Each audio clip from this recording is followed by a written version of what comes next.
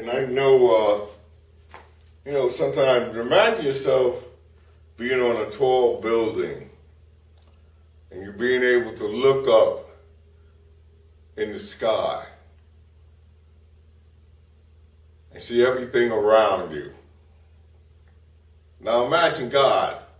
God is not in that circumference. You see, he, he doesn't have to look up to see everything around him. He's not in any circumference. He is God.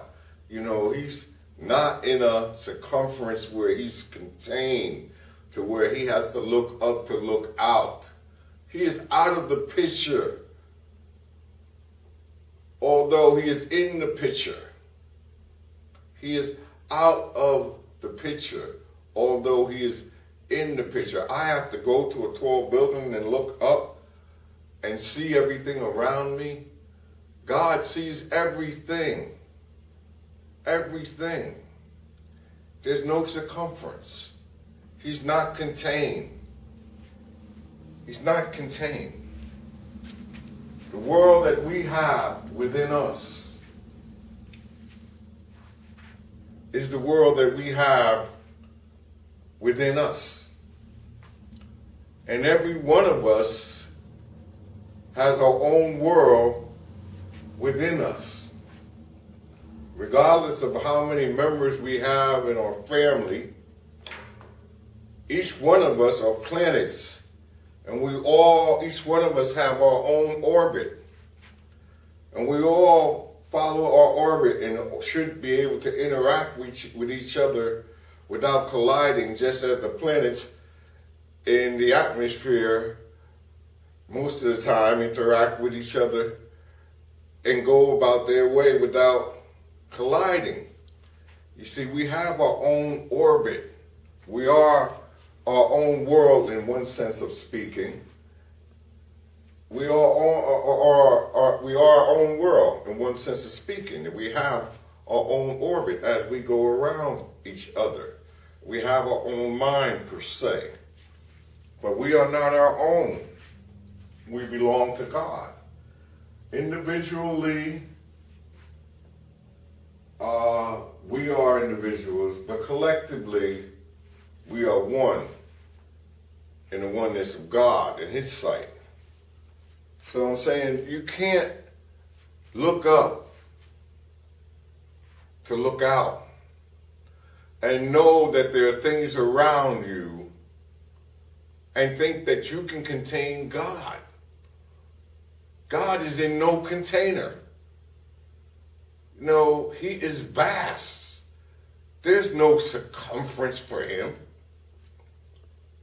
He's the Alpha and the Omega, the beginning and the end. There is no circumference for him. You can't say this is God's circumference as, uh, uh, uh, as if he can be contained. This world is just that, this world. He has universes, galaxies. God is God. There is no end to God. He's the beginning and the end. So I am just a little small something in this great big I exist, I exist in time. God is not governed by time. I exist in time. God is not governed by time. Time doesn't affect God. We're affected by time. So I'm saying, my brothers and my sisters, when you seek God, seek Him. But don't look for Him in a corner. For God cannot be cornered. You, you understand? Don't think when you got up so high that you have reached the top. Because while you're still looking up, recognize that that's what you're doing. And while you're still looking out, recognize that that's what you're doing. And recognize that all that you can see looking out and looking up, you still cannot circumference God. God cannot be contained. And as you're moving on in time and your physical body is moving back to the earth, remember God does not change as we're changing. God does not change. He's the same yesterday, today, and tomorrow. And he always will be.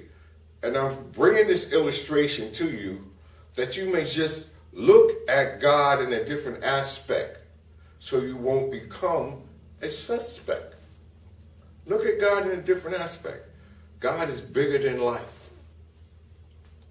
God is bigger than life. God is light. God is love. God is love.